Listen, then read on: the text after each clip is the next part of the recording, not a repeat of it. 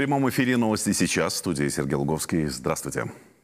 Славянский базар в Витебске пестрит событиями на каждом квадратном метре. Спектакли, концерты, перформансы. Заработал город мастеров. Менее часа остается до второго конкурсного выступления и юных вокалистов. Сегодня разрешится интрига детского конкурса. Кульминацией дня станет торжественная церемония открытия фестиваля искусств. Яркое шоу покажет Белтелерадиокомпания в 22 часа. Большой галоконцерт соберет целую россыпь именитых артистов. Утром фестивальный город встречал звездных гостей. Отвечали до радости. Отвечали до радости. Вас видеть. Как вы? Как вы себя чувствуете? Да нормально, хорошо, хорошо. Рады ли быть здесь, на Славянском базаре? Очень рады. Вы были не афишированным гостем, честно. Да? Почему? Вас э, держали как э, дорогой подарок. Ладно, до встречи. До встречи. Витальевич, здравствуйте. Доброе утро. Витаем на белорусской Вот земле. что-то как-то... Да. Ну, во-первых, э, хорошо, что это происходит каждый год, потому что это сближает наши народы. И это очень здорово. 35 стран сегодня у нас здесь объединились. Потрясающе, здорово. И Я просто, вопреки, я просто счастлив и горд, что я сегодня принимаю такое участие в этой замечательной, в этом замечательном концерте. Ну и буквально через несколько часов состоится и красочная церемония открытия новой именной звезды. В этом году специальной наградой президента Беларуси через искусство к миру и взаимопониманию удостоенная заслуженная артистка Беларуси Елена Спиридович.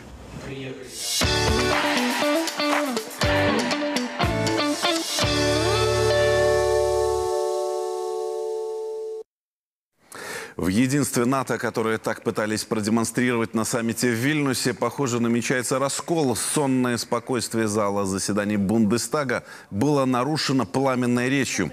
Подобного эти стены не слыхали давно, а может и вообще никогда.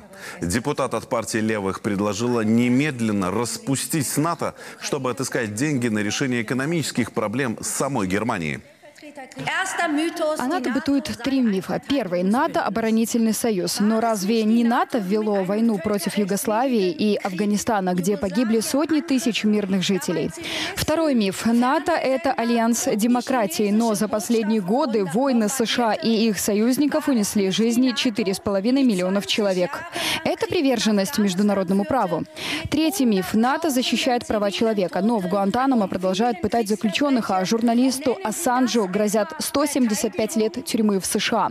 Истина проста. Тот, кто является членом НАТО, теряет свой демократический суверенитет. Кто является членом НАТО, жертвует интересами своего населения, наращивая расходы на вооружение. Каждый пятый ребенок в Германии беден, а военный бюджет Германии все растет и растет. Нам нужен мир, а не НАТО. Шансов, что депутата услышат, разумеется, нет никаких. Германию и парламентариев ждет вскоре дележка рекордных военных бюджетов. И разве есть на свете что-нибудь увлекательное? Ну, конечно, нет, скажут в Штатах. И сразу возмутятся, ведь военный бюджет на будущий год в Америке окажется меньше текущего. В парламенте началась война поправок. Республиканцы и демократы на перебой добиваются внесения изменений в закон о финансировании в 2024 Министерства обороны. Поправок уже около 300. В частности, запретить собираются поставки кассетных боеприпасов Украине не из человеколюбия, а для того, чтобы не оказаться без вооружений самим. Уменьшится и число кораблей ВМС, откажутся также закупать ракеты взамен поставленных Украиной.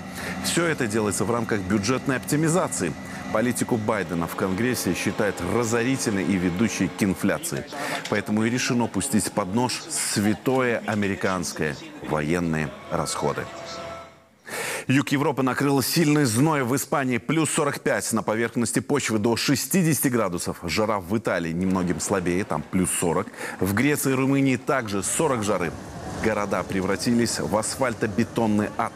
Поля и виноградники высыхают. Специалисты говорят, что экстремальную жару будут ненадолго прерывать тропические ливни. Мол, именно так и будет проявляться в регионе глобальное потепление. С поличным на взятки попался ведущий специалист одного столичного госпредприятия в сфере энергоснабжения. Оперативники выявили факты коррупции при проведении закупок товарно-материальных ценностей. 49-летний фигурант работал в отделе теплотехнического оборудования и за так называемые откаты обеспечивал частные организации победы в тендерах. То есть получал определенный процент от суммы закупок. Мужчину задержали с поличным во время передачи почти 70 тысяч рублей. По месту жительства у мужчины, а также принадлежащем ему дорогостоящем автомобиле было обнаружено свыше 140 тысяч долларов США, 700 тысяч российских рублей, золотые слитки. Устанавливается происхождение указанных денежных средств и материальных ценностей. В отношении задержанного возбуждено уголовное дело за получение незаконного денежного вознаграждения в особо крупном размере. И в завершение о радостном событии в Минском зоопарке. Там родился ланенок. Пушистый, пятнистый малыш. Уже собирает лайки в Инстаграм и ловит милые улыбки посетителей.